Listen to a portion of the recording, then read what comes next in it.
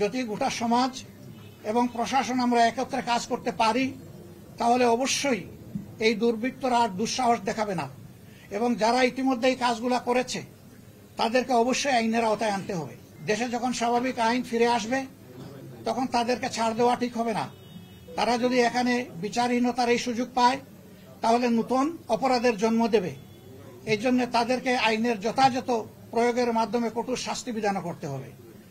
সম্মানিত ভাইরা এই দেশটা আমাদের।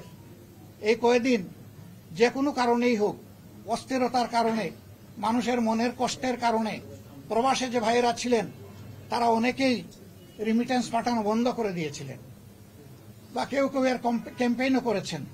এই ব্যাপারে আমরা আমাদের সংগঠনের পক্ষ থেকে কোনো কথা বলিনি। কারণ দেশ আমাদের সবার। দেশ বেঁচে থাকলে আমরাও বেঁচে থাকব। দেশের অস্তিত্বই যদি না থাকে, আমরা বাঁচব কি করে? এই জন্য আমরা প্রবাসী ভাইদেরকে এবং দেশে যারা আছেন, ব্যবসায়ী ভাইদেরকে আমরা বলব যে আসুন এই দেশকে একটা বিধ্বস্ত অবস্থা থেকে তুলে উঠানোর জন্য আমরা সম্মিলিতভাবে কাজ করি।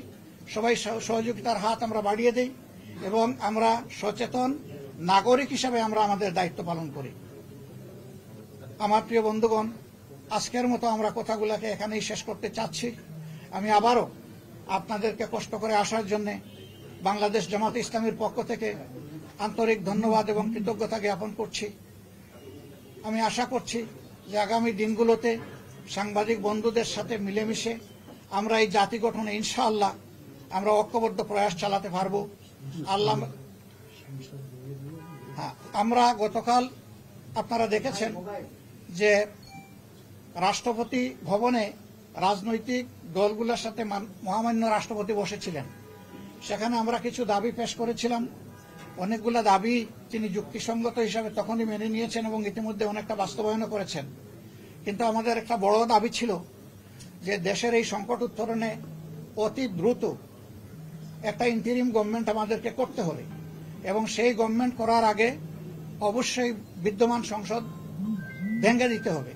তিনি আমাদেরকে কথা দিয়েছেন যে তিনি অতি সত্তর এটা ভেঙে দিবেন এবং ইন্টারিম গভর্নমেন্ট ফরমেশনের জন্য তিনি যথাযথ উদ্যোগ গ্রহণ করবেন।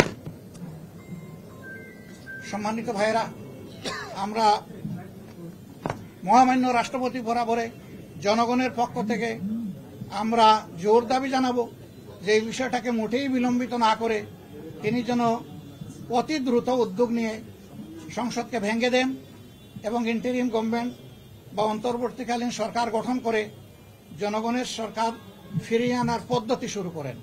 সেই সরকারও আবার দীর্ঘায়িত না হয়ে